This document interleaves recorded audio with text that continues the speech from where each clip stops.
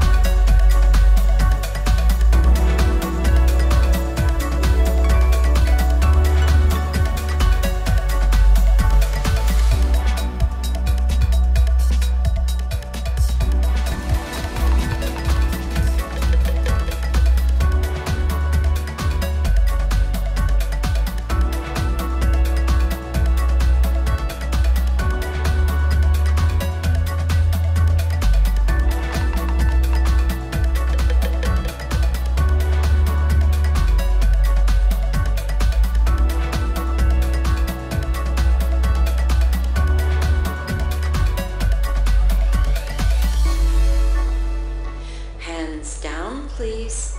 Thank you for riding with You Be Happy Too. Have a nice day.